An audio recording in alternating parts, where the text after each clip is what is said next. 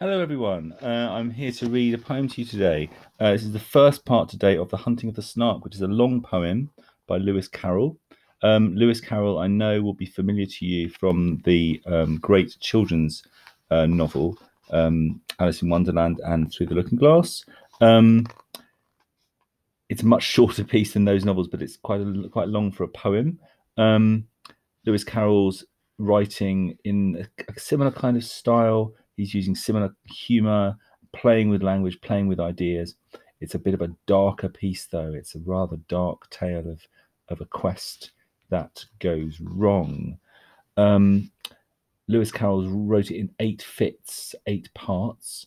Um, I'm going to be reading it in four parts, so two fits per film. So I'm going to give you two fits uh, today. I'm going to leave you in a massive uh, on a massive cliffhanger at the end of the second fit. Um, this is a story about a, a group of uh, motley crew of people who go hunting together, hunting some kind of creature called a snark. Um, they're led by the bellman. Bellman is a character we're going to hear lots about, especially in the second fit.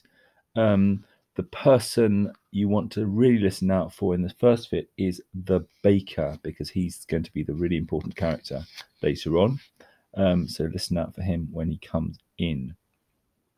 Let's go with Fit the First, the landing. Just the place for a snark, the bellman cried as he landed his crew with care, supporting each man on the top of the tide by a finger entwined in his hair. Just the place for a snark. I have said it twice. That alone should encourage the crew.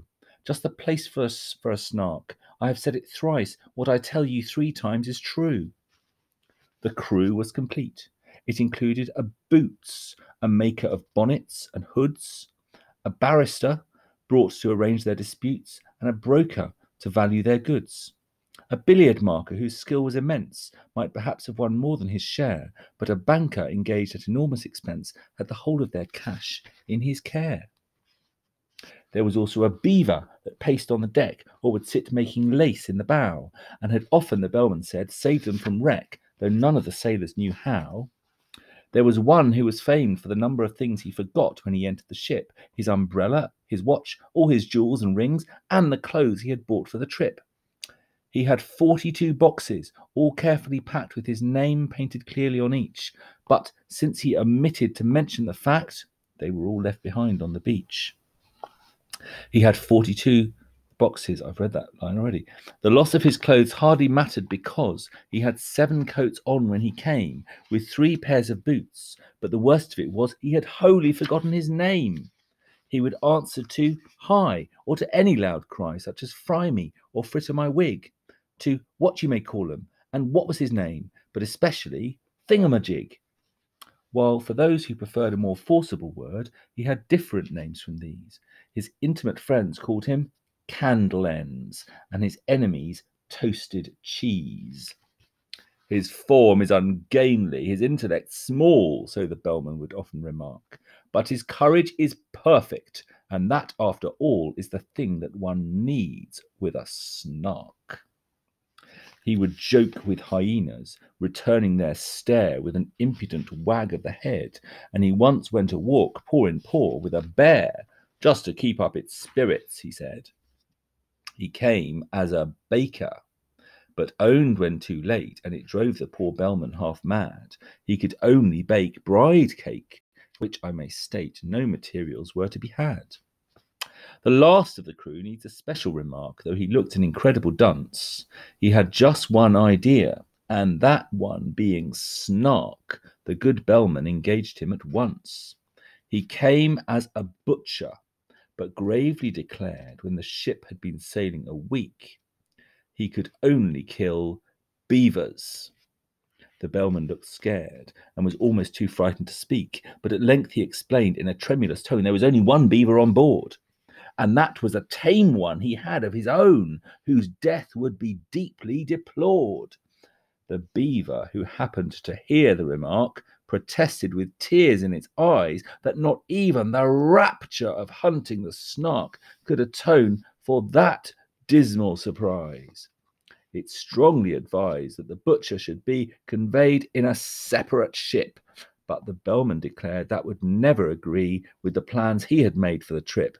Navigation was always a difficult art, though with only one ship and one bell, and he feared he must really decline for his part undertaking another as well. The beaver's best course was no doubt to procure a second hand dagger proof coat. So the baker advised it, and next to insure its life in some office of note. This the banker suggested and offered for hire on moderate terms or for sale two excellent policies, one against fire and one against damage from hail. Yet, still, ever after that sorrowful day, whenever the butcher was by, the beaver kept looking the opposite way and appeared unaccountably shy. Fit the second, the bellman's speech.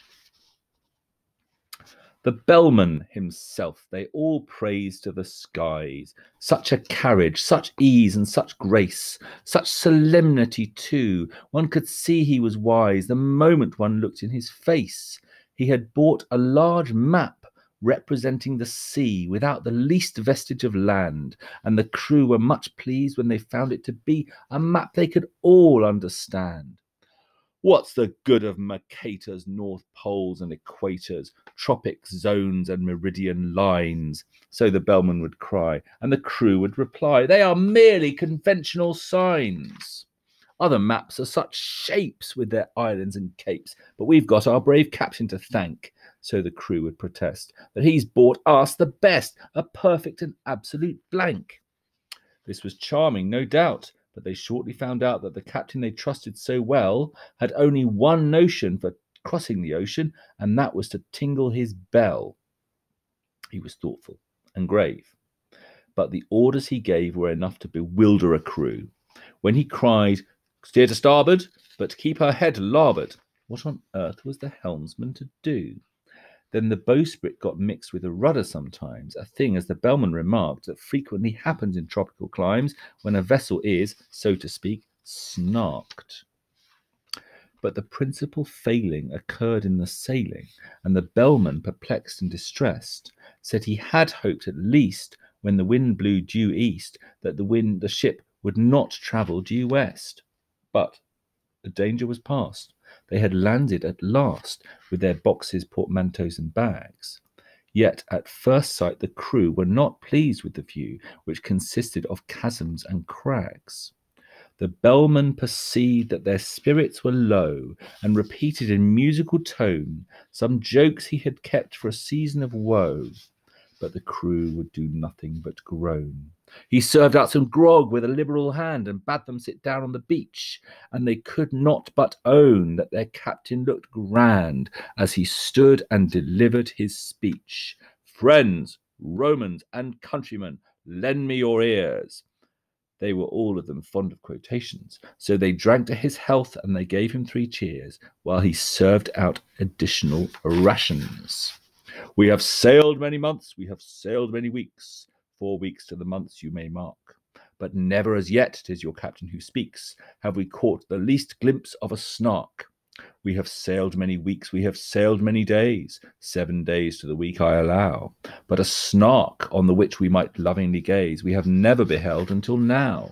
Come, listen, my men, while I tell you again the five unmistakable marks by which you may know wheresoever you go the warranted, genuine snarks. Let us take them in order. The first is the taste, which is meagre and hollow, but crisp, like a coat that is rather too tight in the waist, with a flavour of a will o' the wisp. Its habit of getting up late, you'll agree, that it carries too far when I say that it frequently breakfasts at five o'clock tea and dines on the following day. The third is its slowness in taking a jest, should you happen to venture on one. It will sigh like a thing that is deeply distressed, and it always looks grave at a pun. The fourth is its fondness for bathing machines, which it constantly carries about, and believes that they add to the beauty of scenes, a sentiment open to doubt. The fifth is ambition.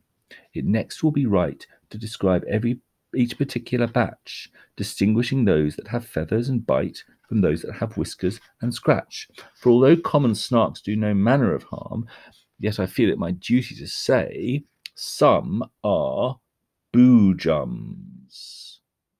The bellman broke off in alarm, for the baker had fainted away. I said there would be a cliffhanger, and that's the end of Fit the Second. Our next Fit is the baker's tale, where we'll find out all about why the baker fainted away when he heard the word boojum. So I will hear, uh, I will see you, speak to you uh, then. Thank you everyone for listening.